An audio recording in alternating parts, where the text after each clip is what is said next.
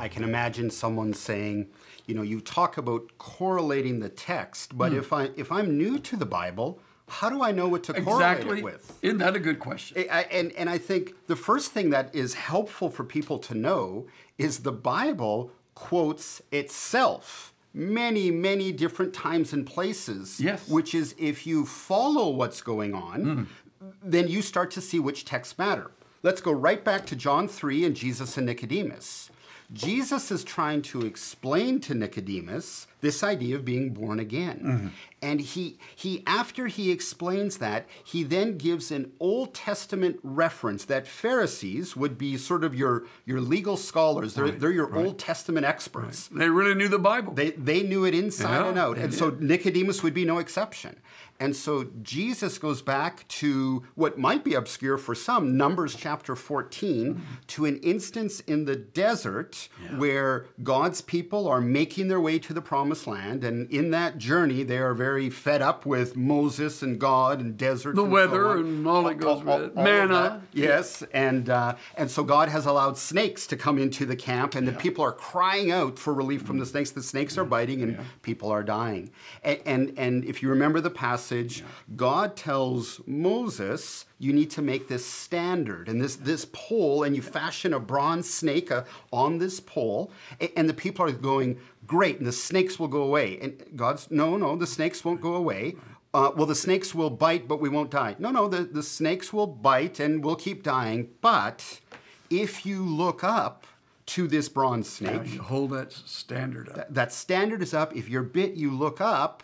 And, and as that standard has been lifted up, you will be saved from your bite. And then Nicodemus, who would know that story You would know so it very well. Yeah. then right. Jesus says, "I- I need to be lifted up.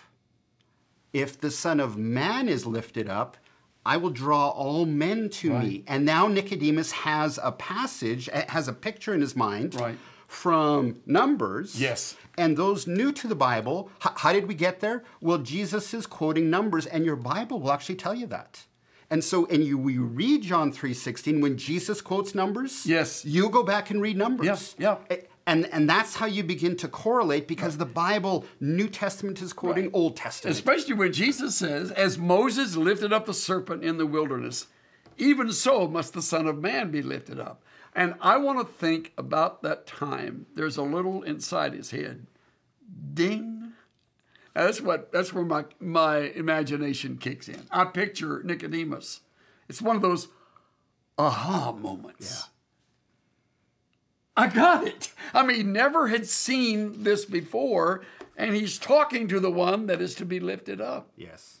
Yes. the one who is the fulfillment of that rescue operation with all the snakes. The beautiful part of this, uh, Rhome, is, is this book is absolutely full of things like that Yeah.